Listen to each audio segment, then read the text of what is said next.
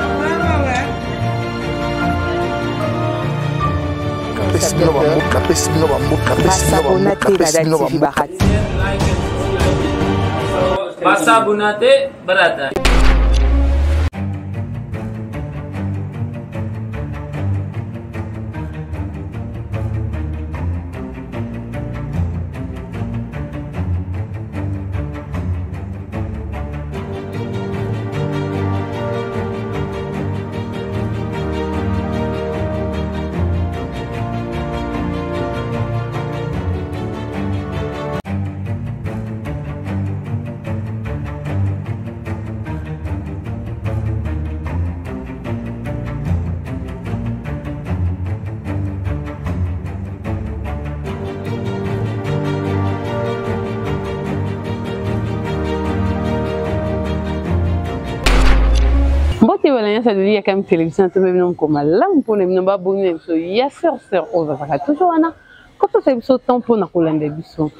yango baboni na biso baoyo ya biso ya motema ya serse boza kotuna mwana na biso na biso dodo de dodo mwana akenda sango na ndenge ya malamu malamu ozali wapi ngai ya bino ya motema nazali na komini ya kalamu na quartier yolosi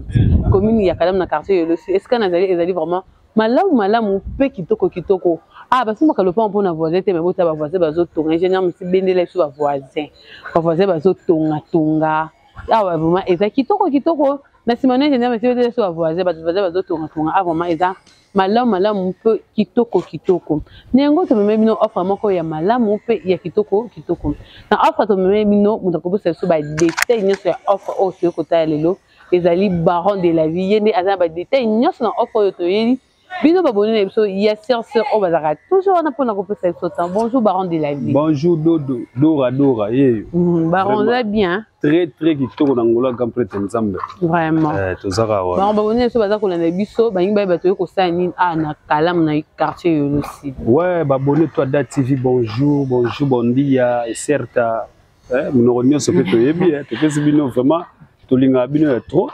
eh, toza toujours na kati ya commune de kalamu précisement na quartier yolo sud na nsima avenue na biso eza avenue kapela mm -hmm. o mhm. première avenue ya yolo sud yango oyo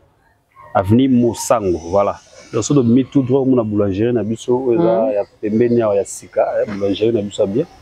euh, tobombeli bino eloko ya kitoko babone to ada tv tobombeli bino ba 5 mètre bolingaka eh, toza na 5 mètre moko tobombeli bino ya sur 22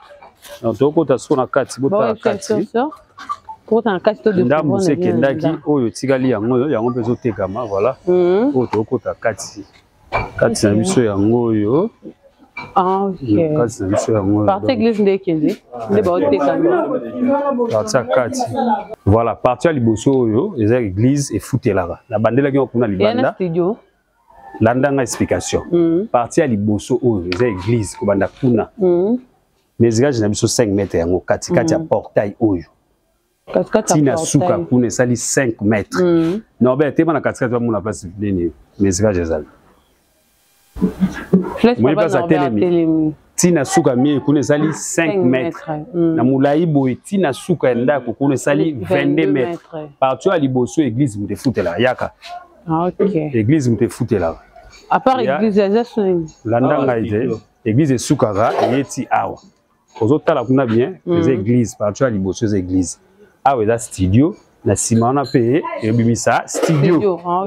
voilà limite na biso ya molai yango ah. ocomprendre mm. eh, ekesi kotii na nsima voilà donc toza na deux studio na église ocomprendre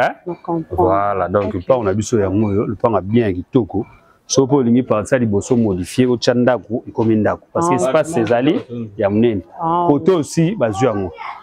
hmm, baron hmm. ah mai na courant mai na courant kitoko nasi omona courant no ah, courant na moni eh, courant yali mai mpe kitoko courant na eh, moni yebi kaka makambo wana ezalaka ok voilà 5 mètres sur 22 5 mètres sur 22 toa na église toa mpe na bastudio mibale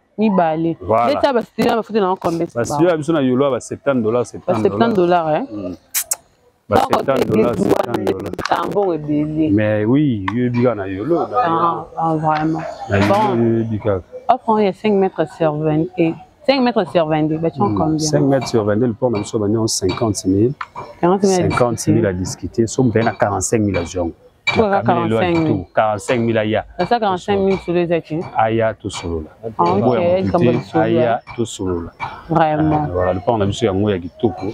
ana deux type locataire na église esali lokola trois donc soki olingi na minute osombi otiki na bato bafutela na tanda ozobunda mpo otya makambo otombola na sikoyo omona avenir no mm. donc babenga yango ma campagne ya yolo donc bazo tonga neti na film biloko ya likolo likolo mm, likolo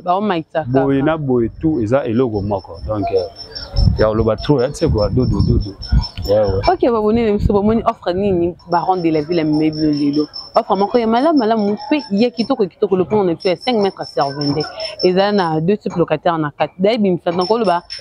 eza 3 na église nde efutelaka nakoloba ebimisa déjà ba 200 et quelques dollars ah par mois ezali awa edesaki keke dola par mois soki osombi offre na oyo omati nde voisin otonga baya babeta lisolo ya voisin ta nde voisin azotonga omatisi ya yo soki oyebi te na omatisa sikoyo te nazwa nano na bomba mbongo nana récupere na somba baseke ya nsima kaka yo soki balocataire na kati hmm. orécupere mbongo na yo babi tv eza radio te tv eza bilili bozomona babilili nde ezoleka yango bango tokomi na suka pesa baoyo ya yo mbote baoyo ya yo baza kolanda r nyonso Ouais, na pesi d'abord bino ba abonné toi date TV mbote. Moni tokuta na ba circonstances ebele ya nande kati ya musala mais toyi baka ko gérer yango parce que to abatu. Te me ko beba te, spe ko beba te. Vraiment bolingaka biso nde biso olingaka bino. eh, mosala tosala yango mpo na bino bolingaka biso nde biso olingaka bino botya mayele na mabele mpo mabele lobi efuta oya bandeko na biso nzambe apambola bino place bozali bozwa mbongo ya bien boya na kini bosinvestir na kati ya mboka na yo lobi esunga vraiment euh, ya koloba tro ya te bai soki baoya biso ya sur sur tokomi na suka ya emission na biso kaka nde tozalaka wana tozalaka temps ya kolukela bino baoffre moko ya malamu malamu